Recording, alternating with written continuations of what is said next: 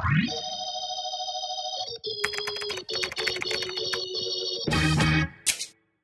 everyone, welcome back. Kapil here. Today I'm here to review Crucial X8 portable SSD, 1 TB SSD. This is a 1 TB SSD that I've been using since February for all my video editing tasks. Uh, as you can see on my screen, uh, I bought it on 17th February, so I've been using it since February. Uh, I got it for around 10,300 rupees and the current price is 9,799 and there is a coupon code also available so you can get additional 500 rupees discount. So it cost almost 9,000 rupees right now. So without any further delay, let's dig in and let's find out what this SSD is capable of. So this is uh, basically a very, very compact disk with very good build quality.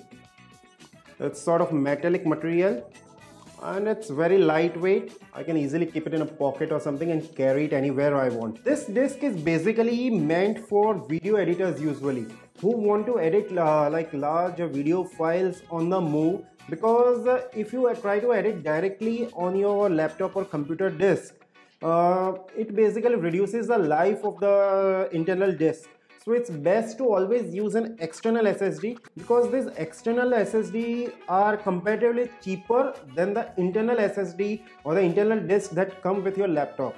So I have been using this. The main reason to buy this disk is to get good uh, disk uh, read and write performance so let's dive in and simply check out what kind of performance or what kind of result this disk can give or what kind of disk IO does this particular SSD gives. This disk is basically compatible via USB-C as well as USB-A. Since I'm using a MacBook Pro, it does not have a USB-A port and I want to show you its result, what kind of disk IO you can expect if you're using a USB-A port. Now this particular system does not have a USB-A port. So what I'm doing is I'm using a USB-A hub which is connected to the USB-C port on my MacBook Pro.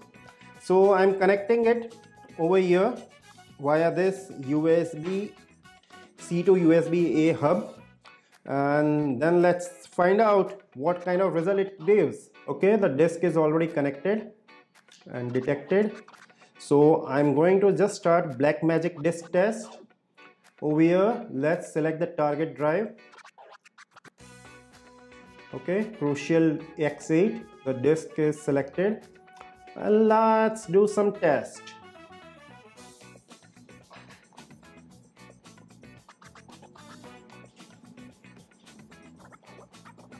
So if we are using a USB A port or basically if we are connecting the disk via USB A and not USB C, it is giving close to 400 megabytes per second read as well as write.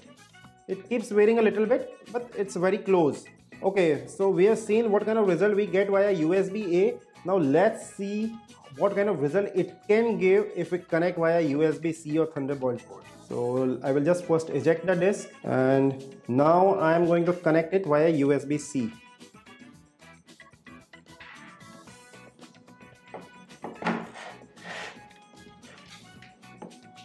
first let me check whether disk is detected okay the disk is detected and in Blackmagic now I will select target drive as crucial X8 again. Now let's start the test again. See the difference. Now is going close to 850 megabytes per second for read as well as write. See the huge difference. So basically the company i think advertise uh, for a disk IO of around 1000 uh, megabytes per second.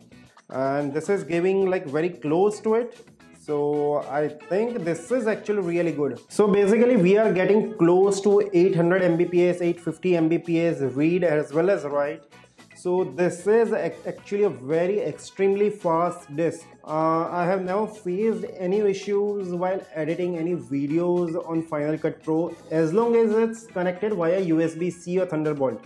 But if i connect it via usb-a then i start having buffering problems in final cut pro while editing.